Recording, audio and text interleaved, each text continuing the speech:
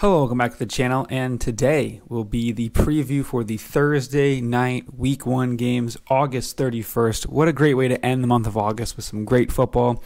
And um, we have, how many games do we even have here? 1, 2, 3, 4, 5, 6, 7, 8, 9, 10, 11 games for you, and I've got four plays on those games.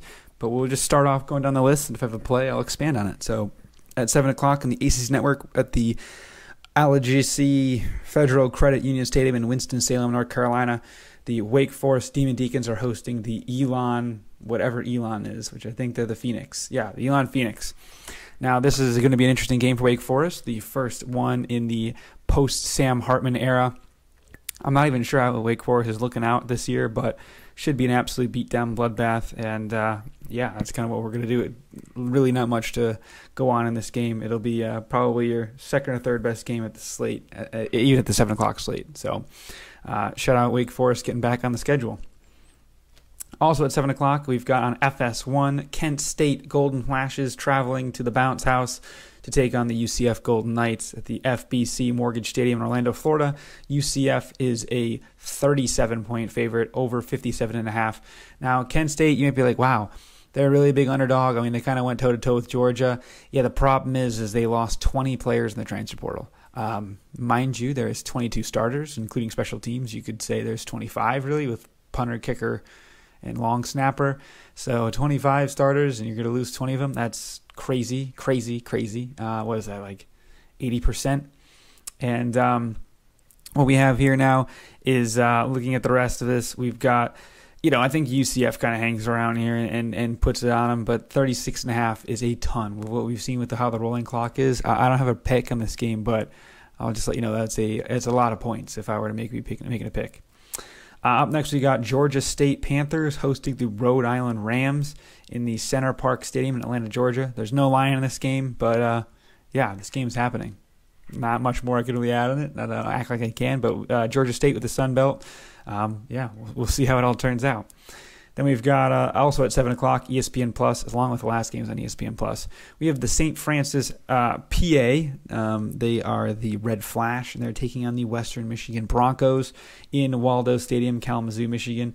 Uh, Western looks to have a, a better season this year. Um, they want to do what they can in the MAC. Obviously, losing uh, quite a few players in the transfer portal, as a lot of these MAC schools have and um, look to get off a good start against a pretty bad team that's only really known for basketball. So I would imagine they don't have the greatest of things going on in terms of football. So uh, Western Michigan should roll, roll easy. Now we have the first game I have a play on here. One of the probably arguably the second best game, maybe third best game. We've got the NC State Wolfpack taking on the UConn Huskies in the Pratt and Whitney Stadium in East Hartford, Connecticut. UConn hosting uh, NC State, big game here. NC State is a 15 point favorite over under 47 points. Now, what I would like to say here, okay, is I really like a big play in this game, and it's the over 47 points. Um, I, I, would kind of lean uh, UConn against the spread here. Jim Mora is really doing his thing out there. And um, NC State does bring back Brennan Armstrong, um, and they have their coordinator with them this year. I guess not bring back or or um, Armstrong, bring in Armstrong. So with that, I think that the ball is going to be slinging around the field, and I think we're going to get a lot of points. I mean, I could see a uh, what 35-14 game that hits. That's what we need. Uh, you know, even something less than that. You know, you could get like I don't know, yeah, 30-17 hits it too, which is it, it's well, it wouldn't hit it, but we need one more. 31-17. There you go, perfect. Pretty much the spread and kind of the over. The projection's about to be. So we get like two touchdowns out of UConn. I'm feeling pretty confident. So I like the over in that game for sure. Then we've got. Um, I'll skip around. I'll leave the best game for last. We've got uh, North Dakota um, no, actually, South Dakota, excuse me, traveling to the Missouri Tigers. That is the South Dakota Coyotes. Um, 7.30, uh, 8 o'clock, excuse me, on SEC Network, Memorial Stadium, Faurot Field in Columbia, Missouri. Missouri, again, a lot of big wins on the recruiting trail. Now they're going to bring in a lot of uh, hopefully wins on the field, and they're going to start off here. Uh, Eli Drinkwitz is going to get the boys buzzing and, and, up for this game, I'm sure. And um, they're going to look to uh, take on and take care of business against the what is that again? I even forgot them already. The Coyotes. So I think Missouri rolls easy here. Obviously, nothing to really worry about. So watch out for Missouri though this year. I think they could be a, a pretty big upset team this season. Um, what else do we have here? Uh, we've got ourselves Arkansas Pine Bluff uh, traveling to Tulsa, Oklahoma, in the uh, Chapman Stadium, the Golden Tulsa, uh, Tulsa Golden Hurricane, excuse me. Uh, Eight o'clock ESPN Plus. Again, another game is going to happen. Uh, just happening. North Carolina A and T taking on UAB Blazers. Eight o'clock ESPN Plus. Again, not much really going on here. Just kind of listing out the games. And then the two big games here at 8 o'clock, we've got Florida traveling to Utah, number 14 ranked Utah, six and a half point favorite Utah over under 46. I like the under in this game at 46 points. I'm betting on no Cam Rising. I know this is kind of. I'm reporting a little bit out here. I got a Sunday night video recorded here, but um, I don't think Rising's going to play based on everything we're seeing. And uh, Graham Mertz is not very good. I think it's going to be a defensive slugfest. Uh, I'm thinking like 24 21, which is you know, some plenty of scoring, but it still hits the under for us, no problem. So that's my play is there. And then the other game at 8 o'clock is a conference game. Nebraska, the Cornhuskers, travel to the Minnesota Golden Gophers in Huntington Bank Stadium, Minnesota, Minneapolis.